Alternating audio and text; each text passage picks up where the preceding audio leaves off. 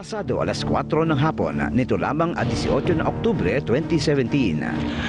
Isang lalaki ang humahango sa kalagitnaan ng MacArthur Highway, dalandanan ni Valenzuela City.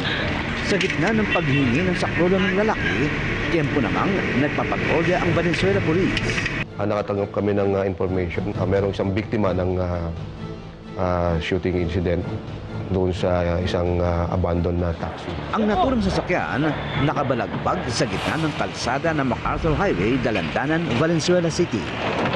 Sa backseat, tumambad sa kanila ang bangkay ng isang lalaki. nakitang meron niyang biktima ng isang shooting incident, nagpatawag sila kaagad ng ating soko. Ang biktima, tigmak ng dugo.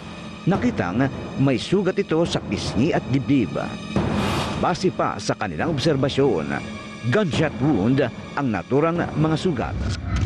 Nung makita yung trajectory ng soko, ah, sa collaboration nila na investigador, napagalaman natin na sa loob nagmula ang putok.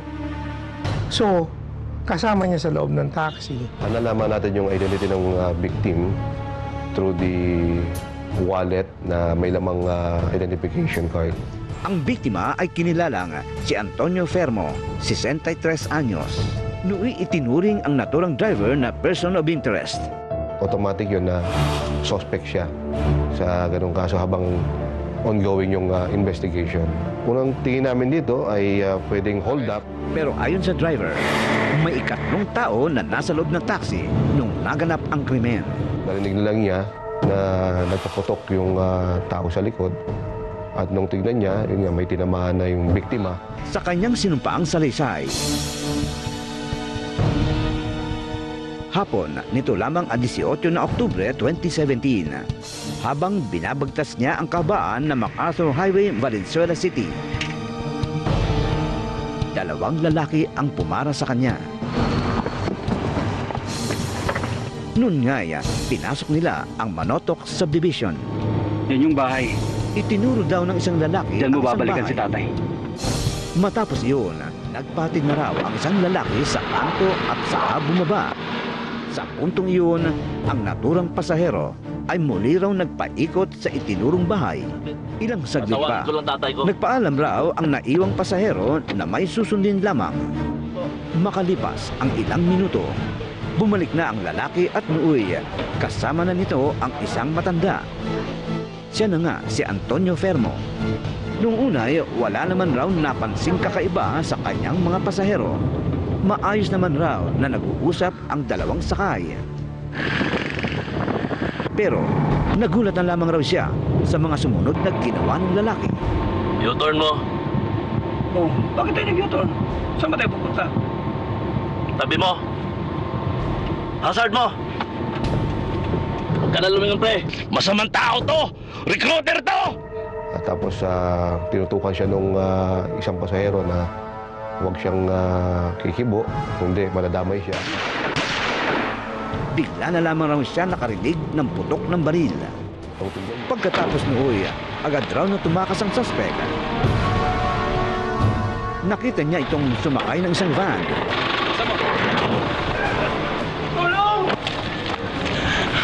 Sa puntong iyon ay humingi na nga siya ng tulong. Nagtungo na ang Valenzuela Police sa bahay na pinanggalingan ng biktima. Sa di naasahan doon, sinalubong sila ng live-in partner ni Antonio na itago na lamang natin siya sa pangalang Rita. Antonio Permo? Opo. Anong makita namin yung kinakasama niya, eh, medyo ang inisip natin na baka mamaya love triangle to. Kasi medyo younger yung kinakasama ni Mr. Fermo. Sa puntong iyon, napag-alaman nila na ito palang si Antonio Fermo ay isang Filipino na may American citizenship. Narito siya sa bansa para pamahalaan ang ilang negosyo at ari-arian. Sa kuha ng CCTV, makikita ang pagpasok ng isang puting taxi sa subdivision. na, si taxi oh. Base sa investigasyon, iyon ang taxi kung saan nangyari ang krimen.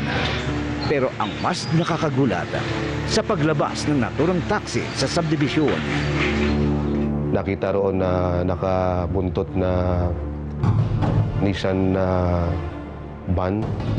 Bukod pa diyan, nakunan pa ng CCTV ang patuloy na pagbuntot ng puting van sa taxi habang binabagtas ang kabaan ng MacArthur Highway Dalandanan, Valenzuela City. Ngayon, naging sentro ng investigasyon ang naturang sasakyan. Dun sa pag-backtrack ng mga CCTV, nakita natin yung conduction sticker at saka yung plate number nung sasakyan na nakita namin sumusunod sa taxi at dun din sumakay yung galing sa taxi na pinaniniwalaan natin na gunman siya. Sa Record and Land Transportation Office, ang naturang van ay nakarehistro sa pangalan ng isang Romeo Bigdas. Siyempre pa, agad inimbestigahan ng grupo ang naturang lalaki. Continuous follow-up kasi ang nangyari rito. Kaya inantabayanan natin yung pagbalik ng van. O, yan na pala eh. Sa huli, nakaharap naman ng mga pulis ang kapatid ng lalaki at driver ng van na kinilalang si Sofronio Bigdas. Pero si Sofronio, tila walang alam sa naganap na krimen. Kausap natin yung driver dito. Kasi mga investigador natin yung driver. Sinabi niya kung sino yung umupa sa kanya. Isang Gilberto Raro Jr. ang pinangalanan ni Sofronio na umupa ng minamaneho niyang van. Ang nakakagulat pa, itong si Gilberto, isang aktibong sundalo ng Philippine Air Force. Sir, dyan po ang bahay. Ito ba? Sa tulong na rin ni Sofronio, nagtungo ang mga tagapagsiyasat sa tahanan ng suspect. Tinuro yung ah, tirahan ni ni Sergeant ah, Raro at ah, kinausap din ng ating ah, kapulisan at Sir, bakit po? Gilberto Raro. Opo. Sumama ka sa amin. Sir, bakit po? hindi na nakatakas dahil ah, mabilis yung follow-up natin. eh. Hindi siya yung bumarel. Siya yung kumuha ng tao na babarel. Sinabi niya na may contact pa siya doon sa tao. Kaya, at alam niya kung nasaan. So, nag-follow up pa tayo, continuous follow up nga ito. Nagpunta tayo sa Laguna. Sa puntong yun, kasunod namang nadakip ang mismong taong sinasabing bumaril sa biktimang si Antonio Fermo. Tama-tama nung nahuli natin siya, dala-dala niya yung sling bag niya, nandun yung barel. Na sa tingin namin, yung ginamit niya. So, pina-examine din natin sa software. Kinilala ang gunman sa pangalang si Avelino Tamayo. Sa extrajudicial confession na isinumite ni Gilberto Raro Jr. Noong 17 raw ng Oktubre ay nagpanggap siyang uupa sa bahay ng biktimang si Antonio Fermo. Actually, si Raro ang nakipag-usap, nakipag-transaction. Uupahan niya ng isang buong taon yung bahay. So, nung nagkaigi sila, Tawagan ko kayo bukas. O, sige. sabi niya, babalik ako bukas, papakita ko to sa misis kong at saka papaliwanag ko yung usapan. Kinabukasan, Sir, gusto ni tinawagan Mrs. raw niya si Antonio Fermo upang magkunwaring magbabayad ng down payment. Sa loob ng taxi, pinutukan yon na yung kanyang krimen na siya dun sa van at umalis na sila. Ano? Base pa sa salaysay, binayaran ni Gilberto ang gunman ng 70,000 piso. Sa kanyang salaysay, nilino nito na siya ay binayaran lang din upang ipapatay ang biktima.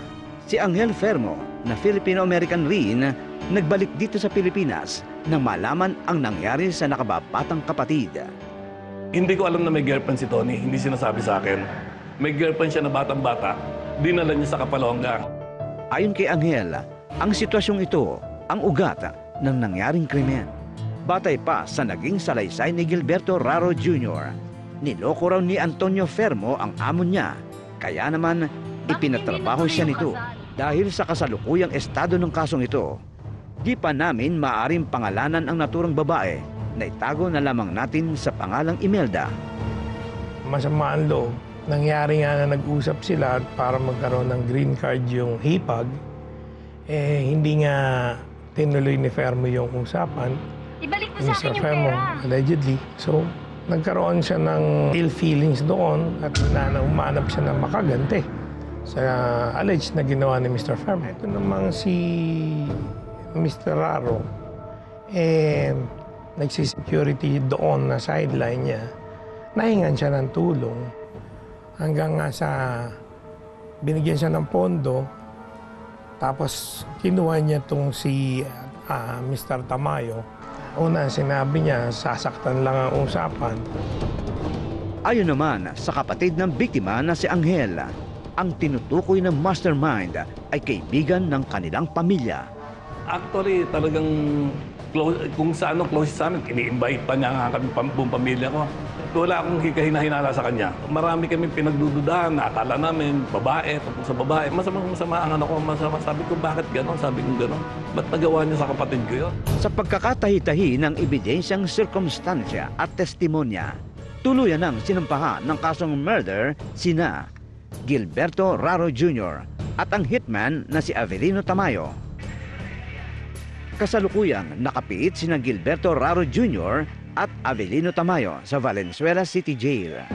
Sa ngalan ng patas na pamamahayag, sinubukan ng inyong ABS-CBN Soko na kunin ang kanilang panig.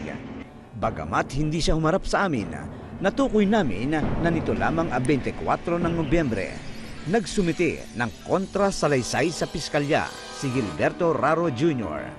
Dito, binabawi niya ang naunang extrajudicial confession.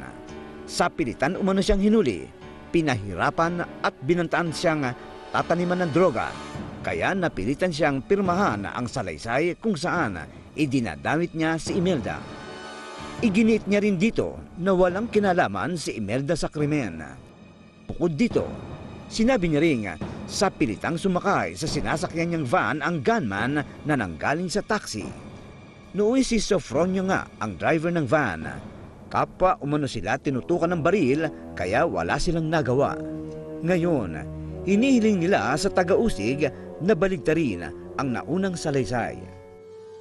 Gagawin ko, Ton, lahat na pwede kong gawin, na kakayanin ko.